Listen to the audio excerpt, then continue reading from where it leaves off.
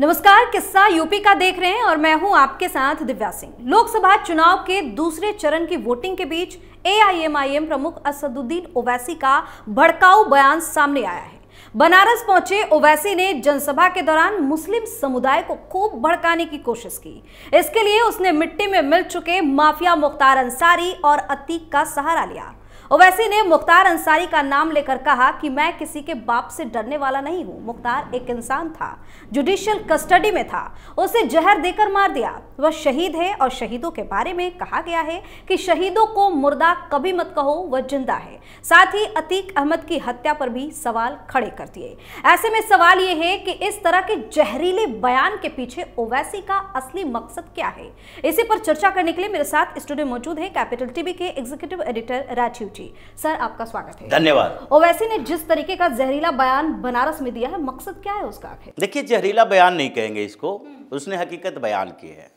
ये सही है अगर उसे लगता है कि मुख्तार अंसारी को जहर देकर उसकी हत्या कर दी गई तो ये कोई गलत बात नहीं है।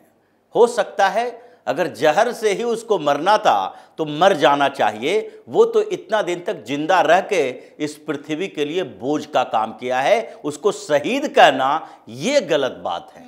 अगर वो कहता है कि शहादत दी है मुख्तार अंसारी ने तो ये उसने गलती कर दी है अपने ऊपर आफत मोल ले लिया है। ओवैसी ने कई बातें कही। बनारस की रैली में भी उसने जिस तरीके की बातें कही है वो दिखाता है आगे मुसलमानों का भविष्य हिंदुस्तान में क्या है? और अभी मुसलमान जो पिछले सत्तर सालों से बेखौफ थे, आज खौफ ज़्यादा क्यों हैं? ये ओवैसी के उस भाषण का नतीजा है जो उसके अंदर के डर को दिखा रहा है। ऐसे भी कहा जाता है कि जब व्यक्ति अंदर से डरा होता है तो चेहरे को बिल्कुल स्टफ़ करके रखता है।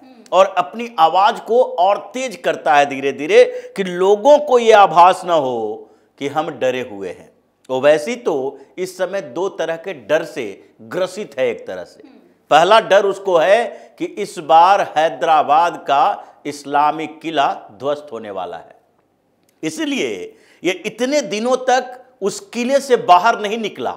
अचानक से जब सवाल उठने लगे कि ओवैसी सिर्फ़ हैदराबाद का नेता है या उत्तर प्रदेश में बिहार में ये चुनाव लड़ता है तो वहाँ पर भी प्रचार करने जाएगा। ये सवाल उठ रहे थे।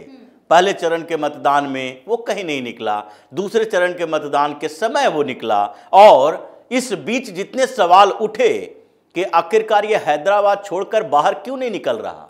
क्यों डरा हुआ है? डरा हुआ तो है क्योंकि माधवी लता ने डरा दिया है। एक तीर से पूरे इस्लामिक किले को ध्वस्त करके रख दिया है और एक के बाद एक। ये जो ओवैसी का फर्जीवाड़ा पकड़ा गया, इससे भी परेशानी उसकी बड़ी है। क्योंकि ओवैसी वहाँ पर फर्जी वोटरों से जीतता रहा। ऐसा नहीं है कि हैदराबाद की जो कंस्टिट्यूंसी है लोकसभा की, उसमें ओवैसी का इतना वर्चस्व है या फिर मुसलमान इतना ज़्यादा संख्या में है जिसके कारण ओवैसी ढाई लाख, तीन लाख वोटों से जीतता रहा। पिछली बार वो दो लाख अट्ठासी हज़ार वोट से जीता लेकिन इस बीच क्या हुआ?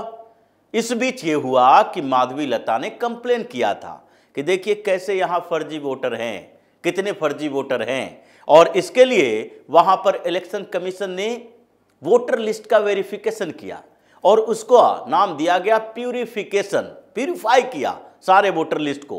हैदराबाद डिस्ट्रिक्ट के अंदर सिकंदराबाद और हैदराबाद दो लोकसभा सीट है और उसमें पंद्रह विधानसभा क्षेत्रों में फिर से वोटर लिस्ट खंगाले गए तो पाँच लाख इकतालीस हज़ार वोटर फर्जी थे।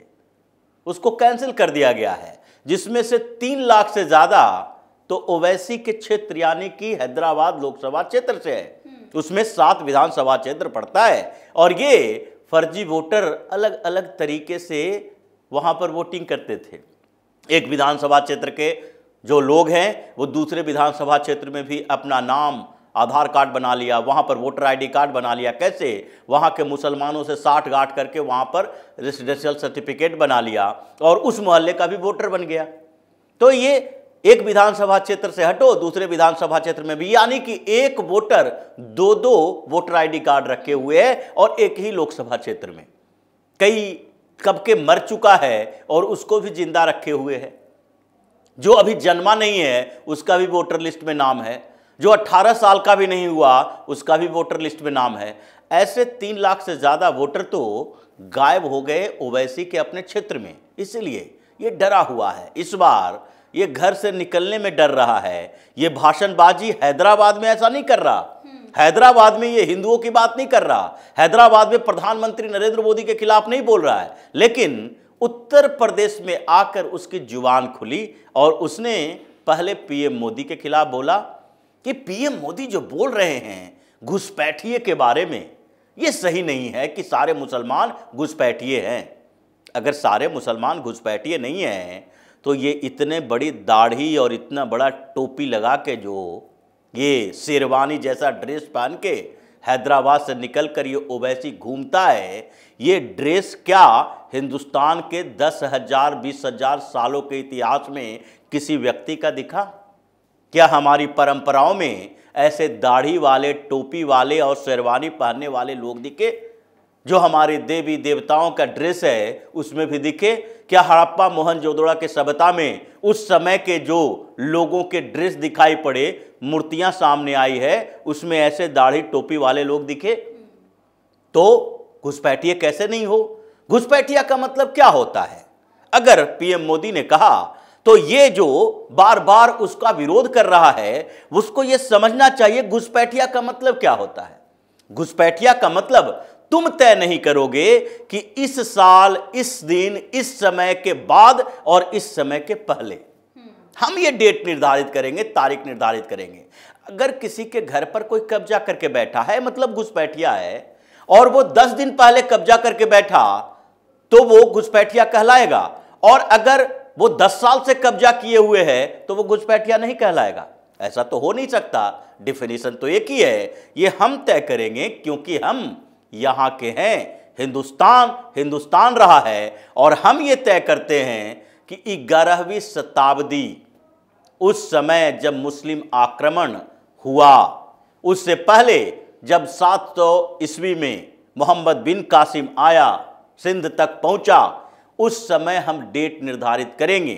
क्योंकि हर स्टेट में अगर देखा जाए तो कोई भी ट्राइबल स्टेट जो होता है आदिवासी क्षेत्र, चाहे छत्तीसगढ़ हो या फिर यहाँ तक कि हिमाचल प्रदेश ऐसे पहाड़ी क्षेत्रों में, यहाँ तक कि झारखंड में, वहाँ एक डोमिसाइल पॉलिसी होती है। यानी कि वहाँ का डोमिसाइल कौन होगा? वहाँ का स्टेट का नागरिकता देश की होती है डोमिसाइल स्टेट का होता है। तो वहाँ पर निर्धारित किया जाता है 80 साल पहले से जिसका यहाँ पर जड़ रहा है, वो यहाँ इस स्टेट का डोमिसाइल होगा। सत्तर साल पहले, साठ साल पहले, ये निर्धारित किए जाते हैं तारीख। तो किसी देश के लिए, राष्ट्र के लिए, ये कैसे निर्धारित किया जाएगा? तो हम तो यही मानते हैं कि तुम घुसपैठिए हो, क्योंकि तुम्हारी जड़ें यहाँ पर नहीं है। तुम सनातन परंपराओं के नहीं हो। तुम अभी तक अरबी मूल के माने जाओगे, क्योंकि अरब से तुम्हारा जुड़ाव है। तुम अपने धर्म के अंतिम पड़ाव में, यानी कि जब तुम्हें लगता है कि हमारे सारे पापों की मुक्ति का समय आ गया, अगर किसी हिंदू को लगता है, वो कहाँ जाता है? चार धाम की यात्रा करने जाता है, गंगोत्री या यमुनोत्री जाता है, वो कन्याकुमारी से लेकर काशी तक जाएगा, वो हिमालय से लेकर वहाँ अमरनाथ की यात्रा पर जाएगा, तुम कहाँ जाओगे? हिंदुस्तान में कोई जगह बताओ, जहाँ पर तुम जाओगे। तुम जाओगे काबा। तुम जाओगे सऊदी अरब, मक्का, मदीना जाओगे, हज करने जाओगे। तो फिर तुम यहाँ के कैसे? तुम तो घुसपैठिया ही हो। इसलिए ओवैसी घुसपैठिया है और ये वो मान ले या न माने, हम लोग यानी हिंदुस्तान के हिंदुओं को ये मानना चाहिए कि ये घुसपैठिए हैं। ये यहाँ पर पैदा नहीं हुआ, इसकी जड़ें अभी भी अरब में ही है। इसलिए इसका ड्रेस, खान, पान, तरीका, जीवन शैली, रहन सहन, सारा अरबी है। ये अरबी नस्ल के लोग हैं। हिंदुस्तानी कभी नहीं हो सकता। इसलिए ओवैसी ने जो अतीक अहमद, मुख्तार अंसारी की बात की, इन लोगों को शहीद बता रहा है। ये इसकी यही मानसिकता को दिखाता है कि अरबी मुल्क के लोग अपने लोगों के लिए क्या विचार रखता है? इस देश की व्यवस्था सरकार के ऊपर इसे भरोसा नहीं है। इसलिए ये बच के चला गया उत्तर प्रदेश से। ठीक ठाक चला गया। ये तो बड़ी बेजती की बात है।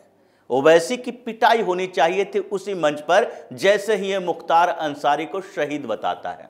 जहर देने की बात एक आरोप है। चलो उसकी जाँच हुई है। और कैसे उसकी मौत हुई, ये सबके सामने है। ये डॉक्टर पोस्टमार्टम रिपोर्ट में बताया। लेकिन ये जो तुम शहीद बोल रहे हो, ये चोर लुटेरे माफिया आतंकियों को, जिसके ऊपर आतंकवाद का मुकदमा चलना चाहिए, ये अतीक अहमद जैसे लोग, जो कि पाकिस्तान से लेके थाईलैंड तक अपना नेटवर्क चला रहा था, आईएसआई को अपने साथ रखे हुए था, ये आईएसआई का एजेंट का काम करता था इन लोगों को आतंकियों को तुम शहीद बताओगे और तुम उत्तर प्रदेश से ठीक ठाक जा रहे हो ये हमारे लिए सोचने का विषय है कि इसे ठीक ठाक नहीं जाने देना चाहिए। इसे तो कुछ ना कुछ सबक मिलना चाहिए और इसकी तैयारी भी हो रही है। इस शहादत पर इस बात पर इस बयान पर एफआईआर दर्ज होगा।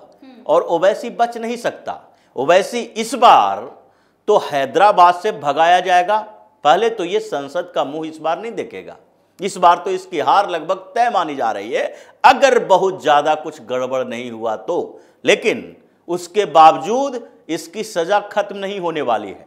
ये यहाँ से भागेगा, क्योंकि जिस तरीके का जहरीला इंसान ये है नाग का फन कुचलना ज़रूरी होता है उसको खत्म करने के लिए इसके भी फन कुचले जाएँगे। बहुत बहुत धन्यवाद से तमाम जानकारी धन्यवाद। तो एआईएमआईएम प्रमुख असदुद्दीन ओवैसी जहाँ भी जाता है ज़ुबान से जहर ही उकलता है लेकिन शायद उसको पता नहीं है कि यूपी में आकर इस तरह की बयानबाजी करना उसको भारी पड़ सकती है क्योंकि सीएम योगी भी ऐसे नफरत फैलाने वाले लोगों पर नज़र बनाए हुए हैं और उनका तगड़ा इलाज किया जा रहा है। किस्ता यूपी का में आज के लिए इतना ही। अगर आपने अभी तक हमारे चैनल को सब्सक्राइब नहीं किया है तो सब्सक्राइब कर लीजिए, हमारे वीडियो को लाइक कीजिए, शेयर कीजिए, साथ ही हमारे वीडियो पर कमेंट करके ज़रूर बताएँ कि आपको हमारी खबर कैसी लगी। धन्यवाद।